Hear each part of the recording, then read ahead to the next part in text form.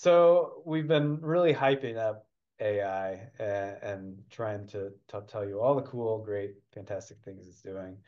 But we do need to manage our expectations. You know, this is just another tool and, and it's not a replacement for humans, you know. Similarly, when, when a calculator came along, it's just another tool that makes you a lot more efficient, but it's not going to completely replace what you're doing. Um, think about it as I like to think about it as a, you know, my intern over here. I've got this this intern who is not, you know, hasn't really been in the working world for that long, um, but I can give her a task and and and she could do, you know, most of the things pretty good, especially you know the the the simpler tasks, um, and then I don't have to spend my time worrying about that. Um, and you know, even if it makes you 25%, 40%, 50% more efficient, and you have to just check a few things, it is it's still giving you a lot of, of increase in productivity, but it is not a replacement. Um, you need to understand its limitations. So it will hallucinate. So you do have to check it, um, which means it makes it, that's another thing to consider when planning for a, a system level rollout. Um, I'll give you an example. Um, we're, we're, we're trying to have it read award information or read um, contracts, pull out terms and conditions that, that we may need to redline or we may need to alter or create alternate clauses. I think Lori mentioned this in her negotiation side of things.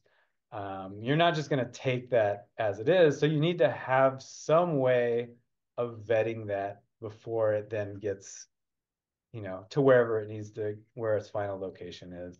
Um, same thing with award notices. You know, if we're getting award notices in from NSF or, or some other agency, that all comes in an attachment and email. Well, we can use AI to read that information and to automatically pop our populate our ERA systems with that. So nobody has to manually type that information in.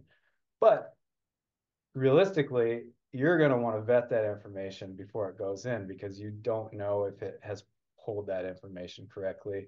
Maybe a one sponsor word worded things a little bit different and it got confused. But so you need to have kind of a, a human in the loop. That's what you always need right now anyway. These things are obviously getting a lot lot better um, and improving. I, know every day, um, but right now you still need to have that oversight.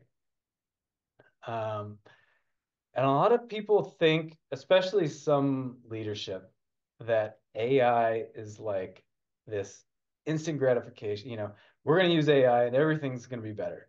Well, it still takes a lot of resources and a lot of training and a lot of, you know, trying to to think about what's going to happen before you can even start to integrate AI. Um, we have got so many AI projects going on right now, but they do take a lot of time. It is not this instant transformation like we like we say. It's a gradual integration. Um, start slowly.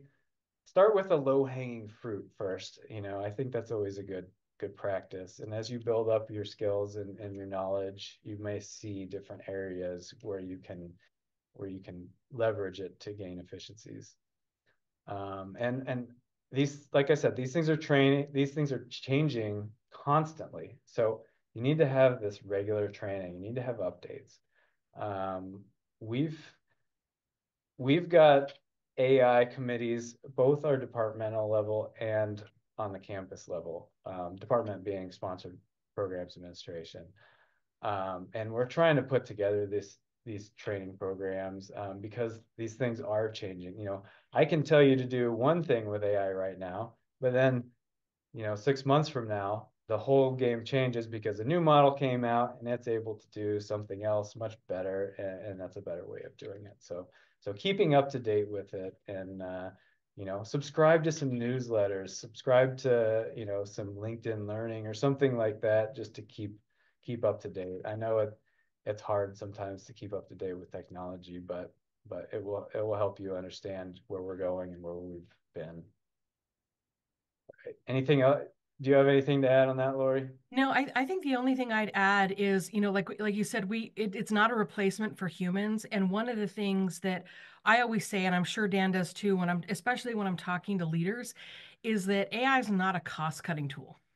Um, what what I think the opportunities are in AI is making making our jobs interesting and freeing up time to do deeper work.